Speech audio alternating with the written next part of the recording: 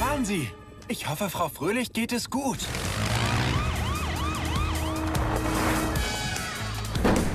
Oh, es ist heute ganz schön windig da draußen.